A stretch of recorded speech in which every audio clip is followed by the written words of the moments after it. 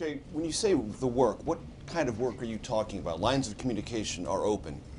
So far as I can tell, and based on your comments at the podium just now, no proposals are being exchanged. There are no ideas being bandied back and forth between the White House and congressional Republicans. It sounds like we're stuck. Well, again, Major, I, I just, I, I'm not going to read out No. what's happening, and so uh, I would neither confirm you- nor deny uh, any characterizations about what's happening or the progress that's being made beyond the fact that, uh, you know, we confirmed the meeting the President had, we've confirmed various phone calls and other activity, uh, in part because, uh, you know, some of it takes place on Capitol Hill with some members of the President's team, and uh, you can't really keep that secret, so. But when you say I'm not there's gonna no talk concrete about. proposal, it sounds as if there's nothing actually being exchanged between the two sides who have to create a deal. I was simply responding to the public statements by the Speaker of the House. I'm not going to characterize internal negotiations. Okay. Uh, Can you tell us and the public what the coverage will be of the swearing in for the president on Sunday I I don't believe those decisions have been made, uh, and Why I'm is sure it an once open they... question? I don't know that it's an open question. Nobody's, we just haven't had discussions about press coverage. But the public would be entitled to see. Again, I don't have, a-? I just don't have an, an answer for you on that, but, but I'm sure there will be, and, and we'll... we'll There'll be coverage. I'm sure there will be an answer for you. I, I, we You haven't can't guarantee those... the public there'll be coverage? Major, I, I'm telling you that we don't have an answer for you yet, but I'm sure we will soon. Okay. You've invited a lot of us to look at the details when you talk about the mandatory spending cuts. Uh, at- I've taken you up on your invitation. Uh, The 240, not the health care savings, but the other entitlement spending Mm-hmm. cuts that are identified. Would you say that those represent efforts to make the government smaller and reduce the size and scope of government activity? Because that's a priority for Republicans.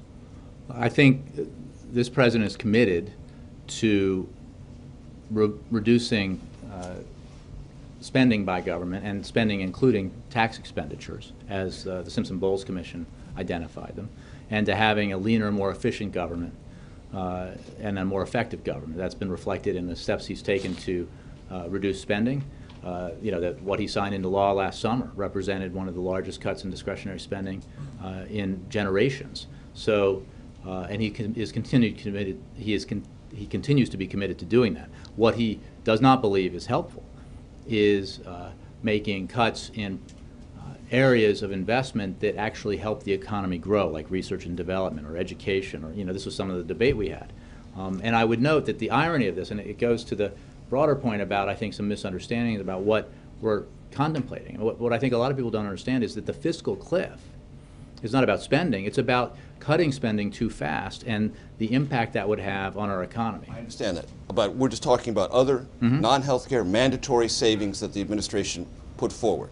A hundred billion of that 240 billion is better IRS enforcement, meaning more rapid and efficient gathering of mm-hmm. tax revenue, and a 61 billion dollar financial crisis fee, which is a tax. Mm-hmm. And then there's a 44 billion dollar changing in payment on timing, that's only a one-time only savings, and 27 billion from higher fees for federal employees. Republicans would look at that and say that's not reducing the size scope of government. That's fees, better IRS enforcement, and making federal employees pay more. That's not really changing anything structurally in the federal government. Well, he- here's what I would say. Uh, As demonstrated by your recitation, there's a lot of specificity in there.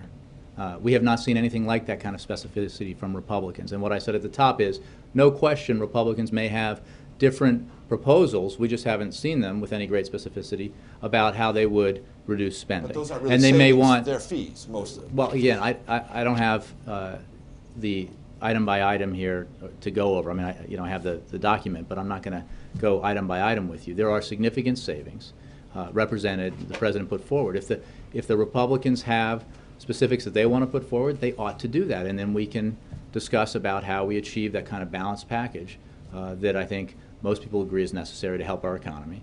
Uh, and most people agree is fair when it comes to uh, everyone uh, bearing the burden uh, fairly and equally uh, to get our deficits under control.